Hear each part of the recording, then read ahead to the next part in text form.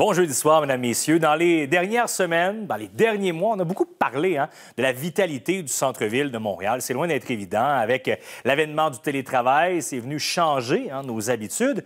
Mais pour encore bien des gens, l'énergie que dégage le cœur de la métropole, ça demeure très attractif. Et la beauté, ben, c'est que malgré les incertitudes économiques, il continue de se transformer sous nos yeux. Oui, les mises en chantier ont ralenti au Québec, mais il y a toujours des projets qui nous font rêver et qui sont en train de se matérialiser.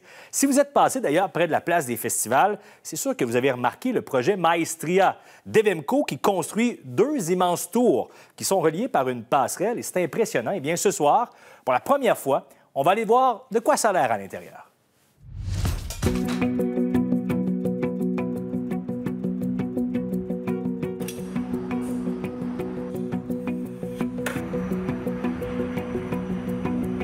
Marco, merci de nous accueillir euh, chez Maestria. Ça fait plaisir. Avec une vue magnifique, on va se le dire. On était ensemble pour l'installation de cette passerelle dans laquelle on se trouve ce matin. C'est impressionnant comme projet. Écoute, on avait hâte d'y arriver. OK, tu as vu la, la, passerelle monter. Maintenant, on est les premiers à y accéder. ça m'excite beaucoup. euh, écoute, Maestria, c'est massif. Deux tours, 58 étages, 61 étages, reliés par la passerelle. On part pour les 26 premiers étages de logement. Les, ensuite, à partir du 26e de la passerelle, c'est des condos. Donc, on a 700 logements, 1042 condos. Ça en fait probablement un des plus gros, sinon le plus gros projet au Canada actuellement en termes d'unités. Et on ne peut pas passer sous silence le marché de l'immobilier en ce moment. On parle de taux d'intérêt, évidemment, on parle de prix également. Euh, ça ressemble à quoi? Comment ça va? De façon générale, c'est sûr que le marché n'est pas facile, on ne se le cachera pas. C'est un peu normal, le marché prend son souffle. Euh, par contre, les fondamentaux sont là. On le voit dans le locatif. Le locatif va très, très bien dans Maestria actuellement. On, a, on est le double des objectifs qu'on s'était fixés. 68% loués actuellement au niveau locatif. Au niveau des condos, on avait commencé déjà il y a longtemps, donc on est 87% vendus au niveau du condo. Mhm. ça, pour nous, ça ne nous affecte pas trop. On sent encore de la demande pour Maestria, parce que c'est un projet qui est quand même reconnu à Montréal, au Québec, et ça commence au niveau mondial aussi. En tant que promoteur, évidemment, vous aussi, ça a un impact, la hausse des taux d'intérêt, la hausse des coûts également. C'est un projet qui a commencé en 2019, les premières clôtures qui ont été installées en 2019.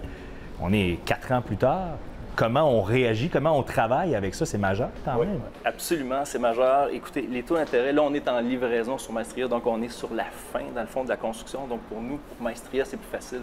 C'est sûr que pour les nouveaux projets, il faut vraiment travailler fort parce que c'est des impacts. Quand on fait nos simulations financières, c'est plus difficile de faire rentrer la rentabilité. On y arrive, on a des projets encore qui vont, qui vont, qui vont débuter bientôt, mais c'est définitivement plus difficile que c'était.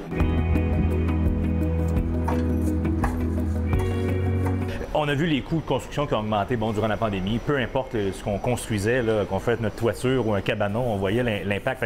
On a qu'à s'imaginer avec cette ampleur de projet-là l'impact que ça peut avoir. Comment ça fonctionne? On refile la facture aux clients, ceux qui achètent plus tard paient plus cher. Comment ça marche? On a eu un petit peu, on a eu, oui, des augmentations, on a eu une inflation au niveau des coûts de construction, mais dans, le même, dans la même période, on avait aussi une inflation au niveau des prix. Ouais. Fait qu'on a été quand même capable de capter, dans le fond, l'augmentation des coûts par l'augmentation des prix qu'on a, a eu, je veux dire, durant les dernières années. Fait qu'on s'en sort quand même assez bien pour le projet Maestria, même si c'est sur longue haleine. Donc là, c'est pas terminé. On va aller euh, voir un peu le chantier, à quoi ça ressemble euh, en haut, Marco. Avec plaisir. On va monter euh, un étage.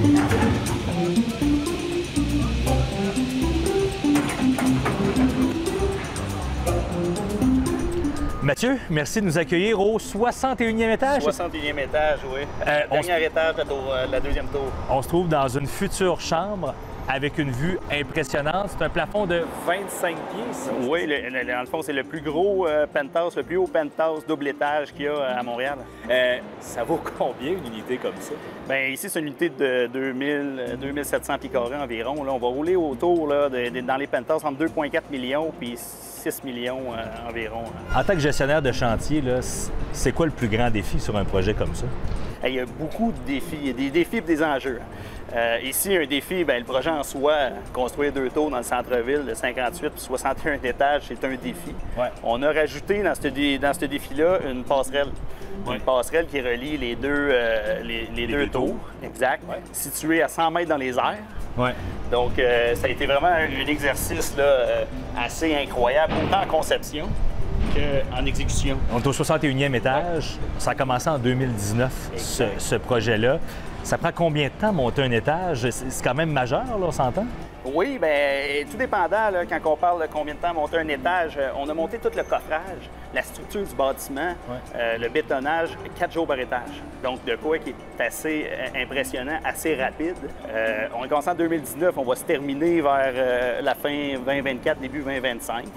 Donc, on a déjà commencé à aménager. Donc, les premières, premières tours locatives ont débuté en juin.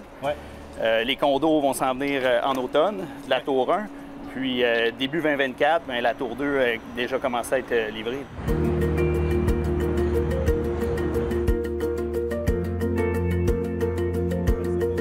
On voit que le chantier n'est pas terminé. Il y a combien de, personnes qui travaillent ici chaque jour? Ici, à chaque jour, là, on, est entre 430 euh, et 450 travailleurs qui rentrent tous les jours. Il y a des, travaille aussi des fois les fins de semaine. Autant un manque de main-d'œuvre sur un chantier de construction, est important qu'un manque de main-d'œuvre dans les usines qui, euh, préconstruit euh, l'ensemble des matériaux qui sont livrés en chantier. C'est ça. Donc, euh, ça a été assez difficile. on a travaillé par contre avec des sous-traitants qui étaient solides, qui ont pu nous donner un gros coup de main là-dessus. c'est sûr qu'il a fallu travailler un peu en temps supplémentaire à certaines occasions pour réussir à, rentrer dans, nos délais. Puis, ça a été un, solide enjeu, un solide défi. Dans les prochains mois, prochaines années, il y aurait des gens qui vont habiter ici. Quand on voit un projet conclu comme ça dans lequel on a pu participer, qu'est-ce que ça nous fait en tant que... C'est une fierté. C'est une fierté. Euh, j'amène souvent mon garçon voir. J'amène mes, trois enfants à voir la construction, puis euh, c'est une fierté de, leur montrer ça, de leur montrer qu'est-ce que, qu'est-ce que j'ai pu construire. Puis c'est de père en fils, donc euh, on est fiers, tout le monde est fier ensemble. Merci Mathieu. Merci.